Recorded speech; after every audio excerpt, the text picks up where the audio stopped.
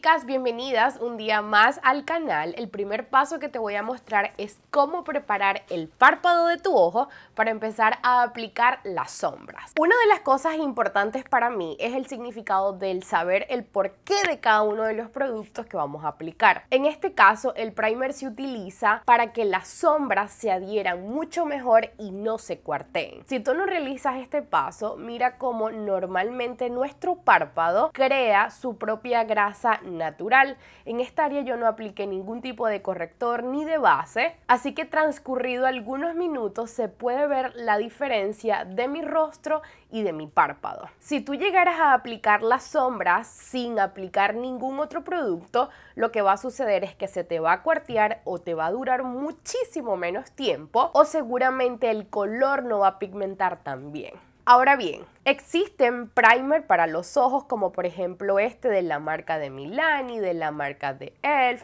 de la marca de Becca. En lo particular, a mí en lo personal no me gustan utilizar estos productos simple y sencillamente porque cuando te lo aplicas en tu párpado, esto en realidad no tiene mucha cobertura. No importa de la marca que sea, este es de la marca de ELF y también me sucede lo mismo. Cuando lo aplicas tiene un poco de cobertura, pero cuando lo terminas de difuminar pierde por completo el color. Y tenemos que recordar que existen muchísimos tipos de pieles distintas.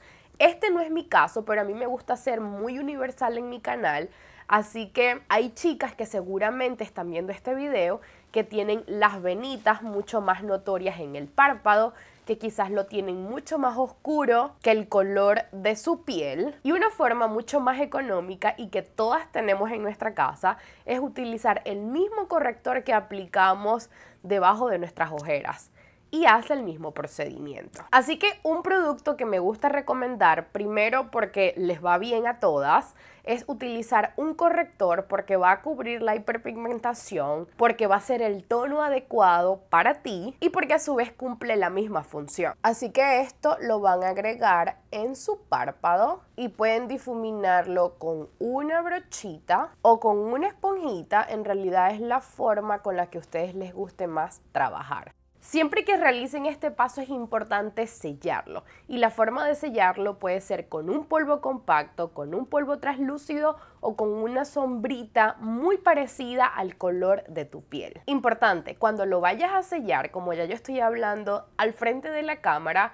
ya abrí un poco el ojo y se puede ver las líneas que se han formado en mi párpado. Así que es importantísimo que antes de sellarlo siempre difumines de nuevo sin abrir el párpado de tu ojo de una vez aplicas el polvo traslúcido, la sombra o el polvo compacto para que esto se selle sin ninguna línea y nos quede un lienzo totalmente en blanco para poder trabajar encima del ojo. Ya estamos listas para empezar a trabajar con las sombras. Lo primero que necesitamos es determinar cuál es la cuenca de nuestro ojo porque sé que es un paso que ven mucho en mi canal cuando digo vamos a aplicar el tono de transición en la cuenca de su ojo, pero quizás muchas no sepan dónde está la cuenca. Y quizás muchas no sepan esto, pero mis ojos son mucho más achinados, la parte de abajo de mi párpado móvil es mucho más pequeña que la de mi párpado fijo. Eso significa que cuando me aplique las sombras, el trabajo que haga en esta área ni se va a notar porque cuando abro mi mirada, esta parte desaparece. Así que esto es algo que yo hago muchísimo en el canal y es realizarme una cuenca artificial. La cuenca de mi ojo en realidad está en esta área, solo se tienen que dejar guiar por el huesito que está debajo de sus cejas. Miren ahí cómo se forma esa línea. Esa sería en realidad la cuenca de mi ojo no esta línea que se forma en mi párpado móvil. Así que voy a hacer dos tipos de ojos dependiendo de cuál sea la forma que tú tengas. En este lado voy a hacer el ojo normal y de este lado voy a hacer la técnica para las chicas que tienen los ojos o los párpados caídos. Y el maquillaje que voy a estar realizando va a ser un maquillaje bastante básico. Ahora vamos con el siguiente paso y es determinar cuál es el color de transición perfecto para ti. Muchas veces todas pensamos que es un marrón, pero aquí viene la pregunta, ¿cuál tipo de marrón es el adecuado? Y esto solo va a depender de tu color de piel. Aquí tengo una paleta de ojos que como pueden ver tiene tonos neutros en esta área, pero no necesariamente significa que va a ser el color neutro que mejor le va a quedar a mi color de piel. Y esto es una regla básica. Tú puedes jugar con cualquier tipo de color de sombra, pero la ideal para ti va a ser que sea un tono o dos tonos como máximo más oscuro que tu color de piel. Seleccioné en mis dedos los marrones que hay en esta paleta y los voy a estar aplicando aquí en mi brazo para que juntas hagamos la tarea y ya tengas una idea de cómo buscar o seleccionar el color de sombra. Ok, entonces aquí tengo todos los colores de sombra, lo voy a pasar por mi piel y así vamos descartando. El primero sería muy oscuro, el siguiente demasiado, el otro es más un color naranja. Así que una forma de que ustedes vayan viendo de cómo funcionan los colores es que se pueden ver en la paleta de un color, pero el subtono de color ya puede cambiar en cuanto te lo apliques en tu ojo. Este, por ejemplo, es un marroncito más tirando a tonos naranjitas, aunque aquí se puede ver mucho más marrón. Luego sigue este que es muy mostaza. Luego tenemos uno más vino tinto, no. Este sería el tono que mejor le iría a mi color de piel. Así que esta es una tarea bastante básica, pero que te va a ayudar muchísimo. Ya que seleccionamos el primer tono, ahora ¿con qué brochita lo tenemos que aplicar?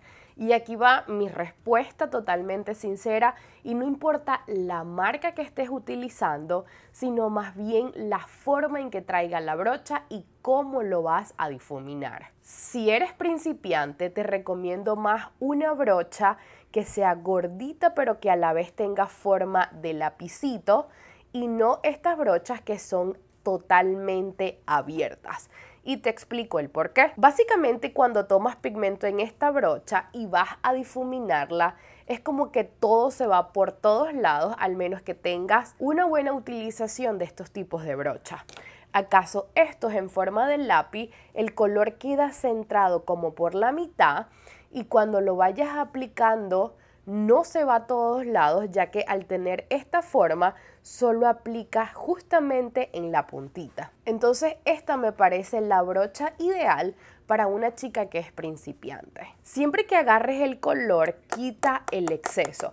No significa que al quitar el exceso ya estás perdiendo la sombra. Lo que en realidad se está yendo ese polvito es el polvito que seguramente manchará nuestro maquillaje todo el pigmento siempre va a quedar en la brocha. Ahora bien, como les dije, de este lado voy a hacer un maquillaje para los ojos normales y lo vamos a aplicar justamente desde la parte externa donde finaliza nuestro ojo, llevándolo hasta la cuenca de nuestro ojo. Siempre pueden hacer movimientos de parabrisa muy suavemente y cuando realicen este paso yo les recomiendo que agarren la brochita por la punta.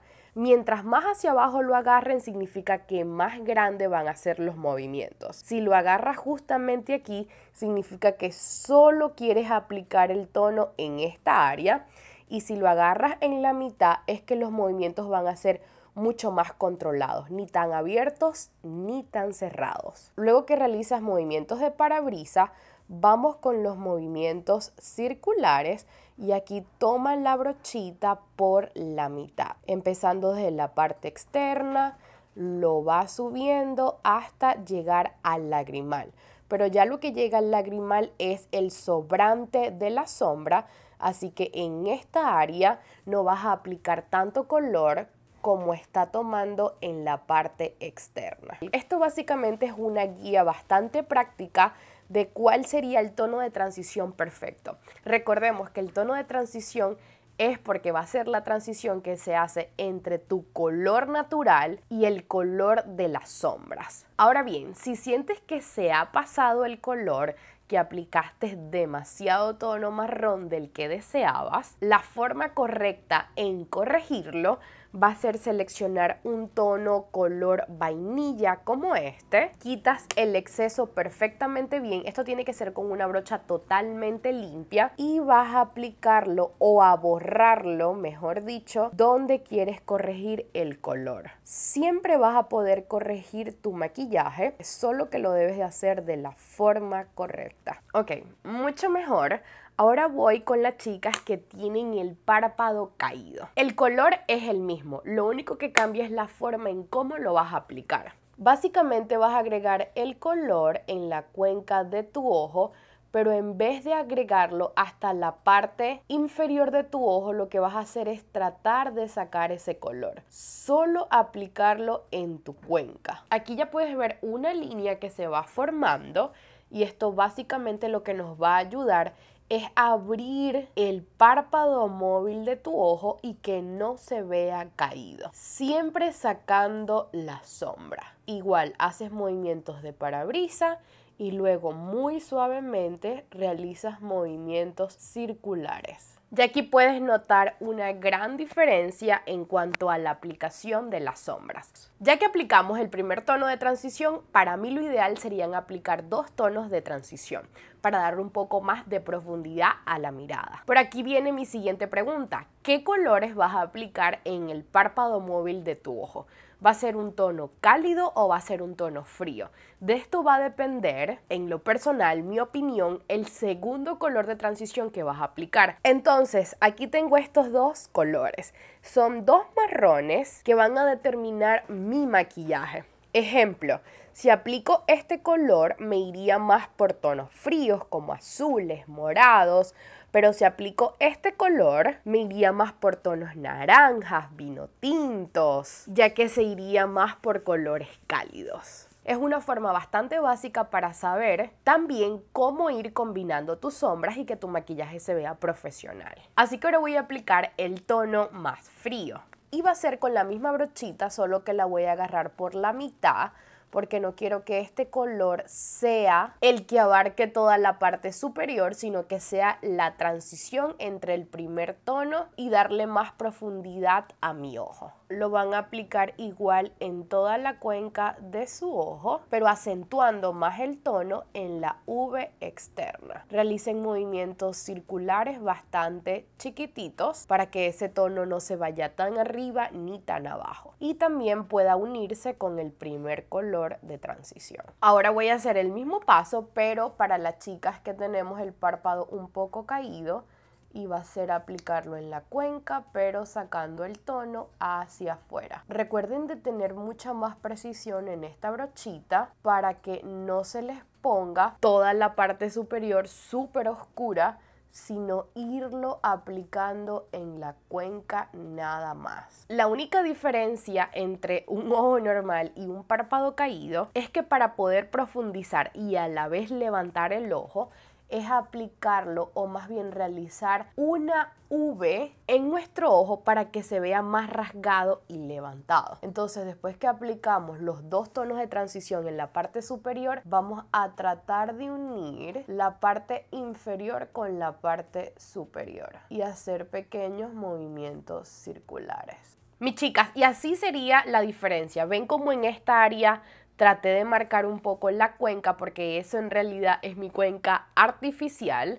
Ahora bien, ahora lo que voy a hacer en el ojo que tengo el párpado caído es aplicar un color que me aporte luz para que se pueda ver esta área de mi ojo, ya que si aplico un color mate terminaría de desaparecer el párpado móvil de mi ojo. No necesariamente tiene que ser una sombra con súper escarcha y con súper brillo o diamantina para nada, sino aplicar un poquito de sombra metálica y que me aporte luz a esta área. Ahora bien, la forma correcta de aplicarla va a ser con una brochita en forma de lengua, que es una brocha plana sintética, van a seleccionar su color y lo van a aplicar a toquecitos y luego arrastrando el producto. Si lo aplican justamente hasta esta área, que es donde tenemos la línea de nuestro ojo, cuando abren su ojo perderían completamente el trabajo. Aparte que al transcurrir las horas,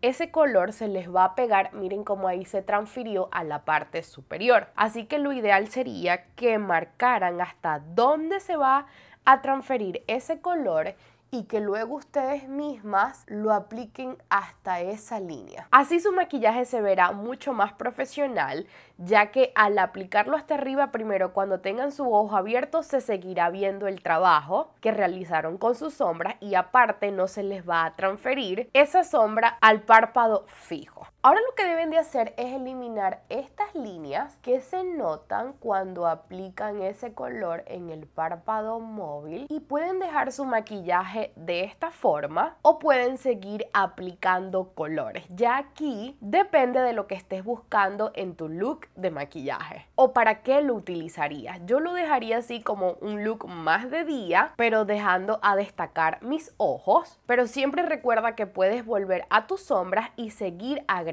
color. Yo voy a agregar solo un poquitito de marroncito en esta área y voy a terminar de difuminar con la sombra brillante que apliqué. Y es solamente un pequeño toquecito, pero la realidad es que me gusta muchísimo el resultado de este ojo. Ahora voy a continuar con el segundo ojo. Y si tú no tienes el problema de tener el párpado caído, entonces lo que puedes pasar a realizar es aplicar una sombra mate. Y no va a ser una brocha en forma de lengua, sino una brocha así gordita siempre quita el exceso y lo vamos a aplicar desde el centro llevándolo hacia los lados. Ya aquí tendrían un maquillaje bastante básico dependiendo de cuál sea tu tipo de ojo. Ahora lo que voy a hacer es ponerme un poco más creativa para que ustedes puedan ver todo el jugo que le pueden sacar a estos pasos súper básicos que les mostré en este tutorial. Aunque no se preocupen porque aquí siempre voy a estar subiendo videos mostrándoles del look de maquillaje que pueden realizar fácilmente porque les muestro el paso a paso. Así que ahora lo que voy a hacer de este lado es aplicar un tono más ladrillo en la cuenca de mi ojo y este sería como mi tercer tono de transición. Y ahora voy a aplicar un tono más vino tinto que sería mi cuarto tono de transición para hacer una transición mucho más rojiza que marrón. Y con el sobrante de mi brochita voy a pasarlo a aplicar encima de ese tono blanco para que me quede en vez de un color blanco un tono más vino tinto claro. Ya hasta este punto ya lo que pueden hacer es adornarlo como aplicar una línea de brillos en la parte superior o aplicar brillitos en su lagrimal. De este lado pueden agregar en el centro, pueden hacer una cuenca marcada, pero básicamente lo que les enseñé es lo básico para aprender a difuminar y aplicar las sombras en tus ojos como toda una profesional. La parte inferior de los ojos sí cambia un poquito en cuanto a si tienes el ojo caído ya que la forma en cómo lo debes de realizar es siempre llevando el tono hacia arriba. Ven como ahí hice el ojo totalmente rasgado para que se me pudiese ver hacia arriba, mientras que el otro la forma es bien diferente, porque aquí se va a hacer el ojo mucho más redondito. Y ya para finalizar es súper importante las pestañas que vayan a aplicar. Si tienes el ojo caído te recomiendo más un tipo de pestañas de esta forma que al principio sea corto y luego cuando termina sea mucho más largo, porque te ayudará a levantar levantar tu mirada. En cambio, si tienes un ojo normal, puedes utilizar cualquier tipo de pestaña, pero aquí ya lo que nos importaría sería el volumen en la parte del frente y puedes utilizar una de estas pestañas. Mis chicas, y como último tips y no menos importante, cuando se vayan a aplicar las pestañas postizas, nunca dejen que sobresalga porque eso lo que nos hará es que nuestros ojos se vean mucho más caídos. Siempre déjense guiar por donde comienza y por donde terminan sus pestañas. Así que espero que con este tutorial hayan aprendido mucho y si fue así no olviden de regalarme esos deditos arriba, de suscribirse si eres nuevo y de activar la campanita para que no te pierdas ninguno de los videos que vienen que están buenísimos. Recuerda de compartir este video con alguno de tus amigas para que no se pierda los consejos y tips que te voy a mostrar en este canal. Te envío un besote grandote y te espero todos los miércoles, viernes y sábados en este canal a las 4 de la tarde. Chao, chao.